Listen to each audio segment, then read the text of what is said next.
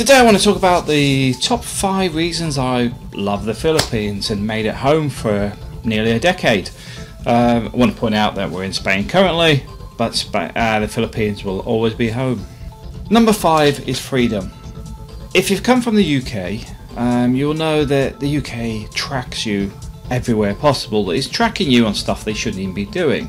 The UK has been caught with um, GCHQ spying through people's Yahoo videos and stuff uh, with live chats. You've got the fact that your passport and your passport number is linked to your tax, it's linked to your driving license, it's linked to your car insurance. You're being watched 24 7. In the Philippines, if you're not bothering anybody, generally nobody's bothering you. So the freedom of the Philippines is an amazing thing that still exists. I would say there's complications if you're actually Filipino, but from a foreigner's point of view, it's a very free country. Generally, people are very, very friendly. That's my number four on the list because you find it doesn't matter what people are doing, where they are, people are generally happy to see a foreigner. It's been to the point where people will quite happily get you involved in things you wouldn't normally do. Um, airsoft, for example, I started playing airsoft for the, the team in Minglanilla. But also, if you said, "Oh, I fancy going out in a little fishing boat," one of these little bancas, the the, the little uh, super fast little boats they use for fishing. Go, oh yeah, come on. Nobody seems to go. That's not safe. That which you would get in the UK, where everyone's health and safety mad and sucking their life out of everything. Yes, there's potential risks, but the common sense thing here is you make that decision yourself. But everywhere you go, generally people are friendly.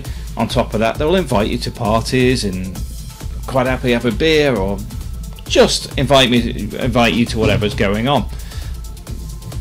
Friendly population, no grumbles there whatsoever. Wet or dry, you always feel happy. The Philippines opens up the fact that it has 12 hours of sunshine most days, but also you've got the fact even if it's raining, sitting on the porch and just watching the rain and the world going by is nice. Everything is nice, whether the weather's bad or good. It's one of those things that we forget in the West. I find in the UK, for example, it's often very, very grey. Doesn't matter what day it is, even in the summer, it can be a bit grey.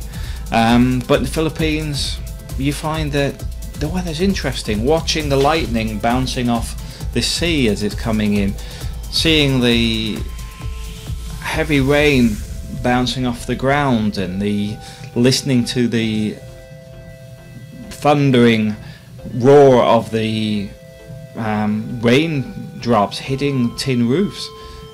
It's relaxing. It's a nice experience.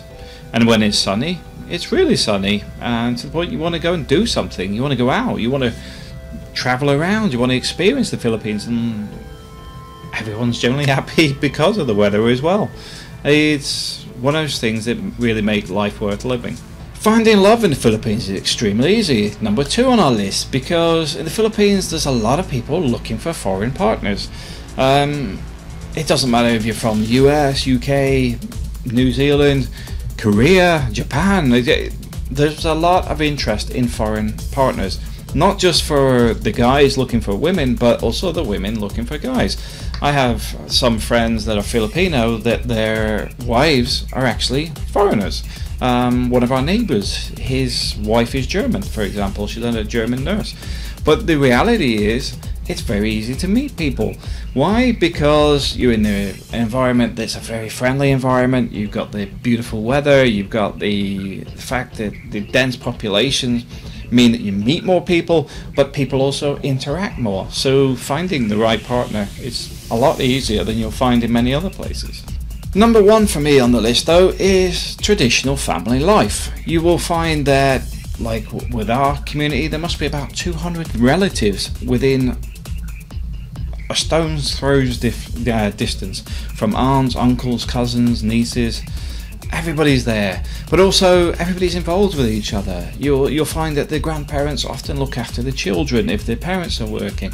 You often find that people spend more time together. They they function as a group. This is why often, if you're going to a resort, you might be taking 20 people because the family go. It's not just a case of this little family unit. It's the family. The whole unit goes. Um, I like that about the Philippines. I find in the UK, the environment where I lived with my parents that it becomes very splintered. My family are originally from Scotland, we live in Worcester, but most of my family has separated even from their original locations because work has sort of driven people away in different directions. I find in the Philippines though, a lot of it is still retained. There is a lot of OFWs, you can't get away from that, it's about 10% of the population, I believe.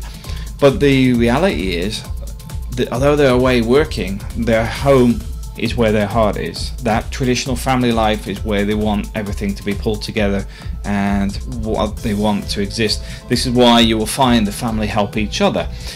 If, for example, I'm an OFW and my sister's kids cannot afford their education, it'd be very common for me to fund her children's education.